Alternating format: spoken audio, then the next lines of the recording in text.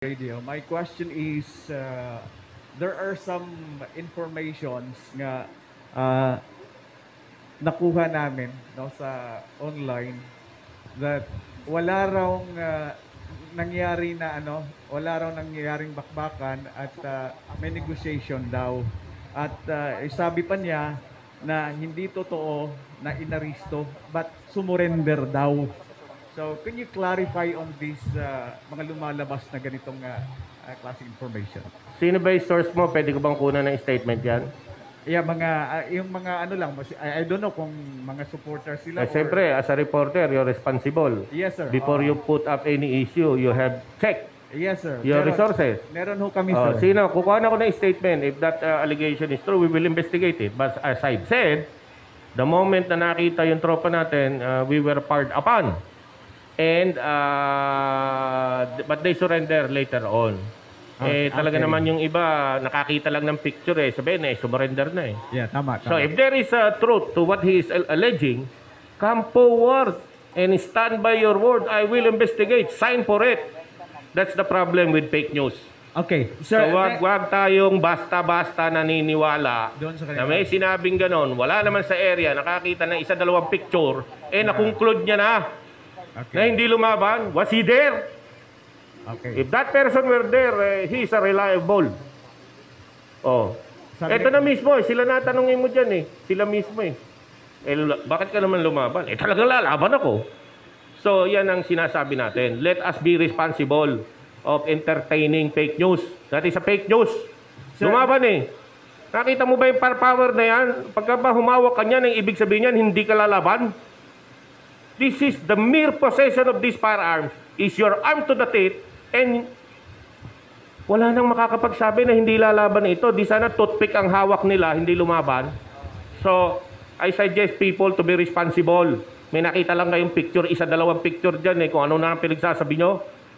Nakita nyo itong firearms na to, alangan naman nilaglag ng pulis to. O, pag ganitong karaming firearms, wala ka ba intention lumaban? So that's my answer to that. And he, if he is true to this word, take a number of this media. I would like to take the statement of that person alleging uh, that uh, ganyan. I will investigate that. I do not tolerate execution style uh, operation. So I will investigate. Take the number, and uh, we will get the statement. All right, sir. Uh, Go ahead. Second question, sir, is about sa etong nag-complain. Do we have uh, uh, complainants here in... Uh, Pakilapit lang yung bibig mo sa mic. yung and, ano, yung complainant po, Speak sir. properly. Yung complainant po. Yung com- Complainant. Yes. Do What we about the have- complainant?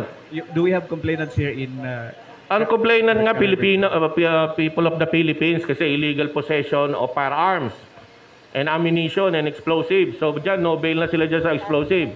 So he will be investigated to that.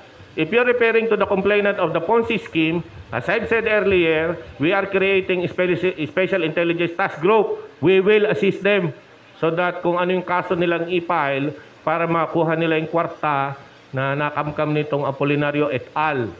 Uh, we will assist them. Kasi for now, criminal case yung amin, implementation of the warrant of arrest for syndicated estafa and illegal possession of firearms and uh, explosive. No bail na yon yung explosive. Plus, direct assault kasi lumaban sila sa police. Plus, illegal uh, association. Oh, dahil uh, uh, this is a private army. Private armed group na to. So he will be answerable to that in as much as uh, Caraga 13 is concerned. As to the complaint ng Ponzi scheme, we will assist in the investigation as have ordered by our Chief of the Philippine National Police. We will assist the complainant. Kay naluoy man me, kay mga daghang mga dreams ang nawala dahil dito sa mga kalokohan nito na ginagamit ang ginoo para makapangloko ng tao. Ministry. Dapat nag spread ng love yan eh, hindi nag spread ng panloloko eh. Sabi ko nga sa kanya, hindi ka na lang estapador ngayon eh. Eh, ano ka pa eh. Papatay ka pa ng tao. Ano sa? Next question. Final question, sir. Uh, kailan daw yung uh, ibang mga scheme, investment scheme, kailan daw ang operation para sa kanila? Ongoing na ba kayo? Teka, teka, ito yung press conference natin. Ano ba yung tinatanong mong ibang iba? Ito yung press conference natin, uh, Kappa Group. Can you clarify your question? Sino Yes, sir. pang grupo yung sinasabi mo? Yung uh, meron kasi may mga forex at iba pang mga mga investment scheme. Ah, hindi yun yung press briefing na to. Yung press briefing na to, isa ka pa international. Anyway, anybody who violates the law, rest assured that the Caraga police will go after them. Even if they possess tank, anti-tank, we have their uh, rocket-propelled grenade.